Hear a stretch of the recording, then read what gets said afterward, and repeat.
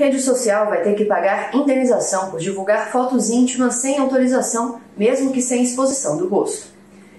Os ministros da terceira turma do Superior Tribunal de Justiça julgaram o caso de uma mulher que teve fotos íntimas divulgadas pelo ex-namorado em uma rede social.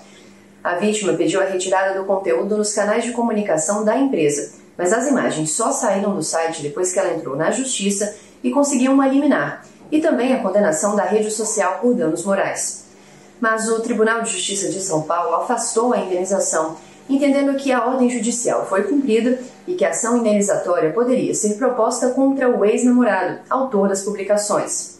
A relatora no STJ, ministra Nancy Andrighi, destacou que os fatos aconteceram quando não existia ainda legislação específica sobre o tema, porque o caso ocorreu antes da vigência do Marco Civil da Internet.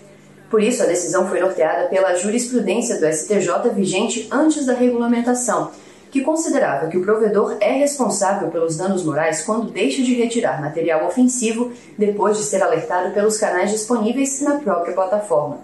Esse advogado explica como essa responsabilização é caracterizada. Nós temos a configuração do ato ilícito por quê?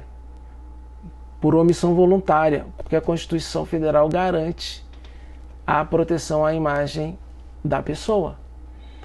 Se a provedora de internet notificada não retirou essas imagens do ar imediatamente, então ela foi voluntariamente omissa, porque ela se omitiu no dever de retirar. E o ato ilícito ele é indenizável. Os ministros condenaram a rede social a pagar indenização por danos morais de 20 mil reais e destacaram ainda que, quando se trata de conteúdo íntimo, o próprio Marco Civil dispensa a necessidade de ordem judicial para a retirada dos conteúdos.